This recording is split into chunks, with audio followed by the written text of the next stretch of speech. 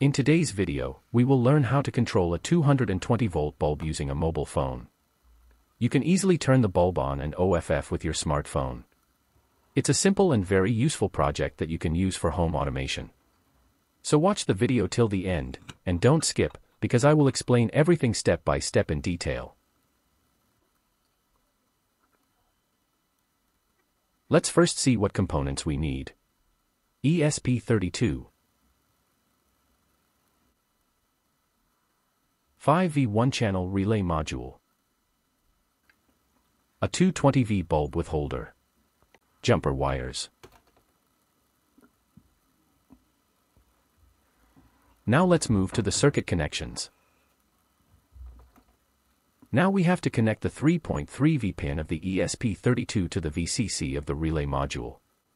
One important thing to note here is that this ESP32 board does not have a 5V output option, so we are connecting the relay VCC to 3.3V.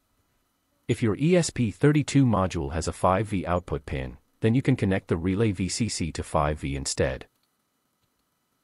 ESP32 GND connect with relay module GND.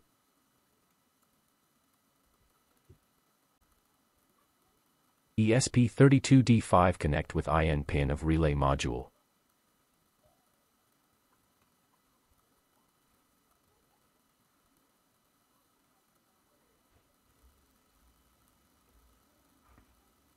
Now we will connect the 220V bulb holder to the relay module. As you can see, the holder has two wires, positive and negative. The relay module has three terminals.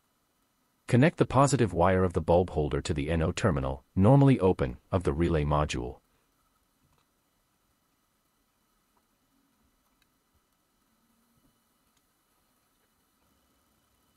Then, from the 220V supply, connect the positive wire to the center terminal, COM, common point, of the relay.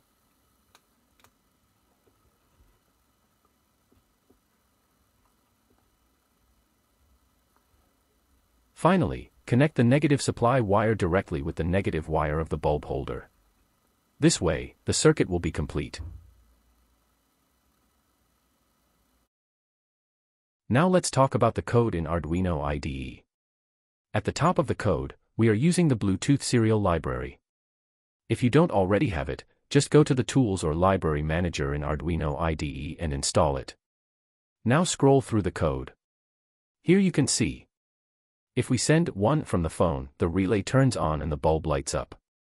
If we send 0, the relay turns off and the bulb goes off.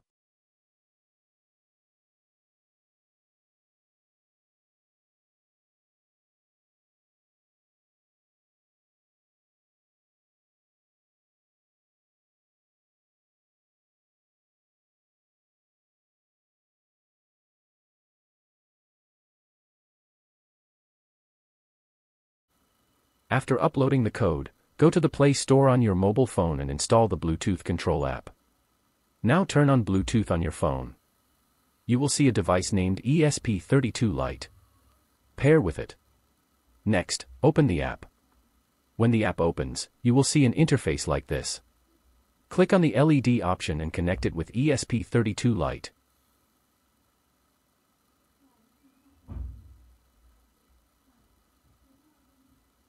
Now you can easily turn the light on and OFF using your smartphone.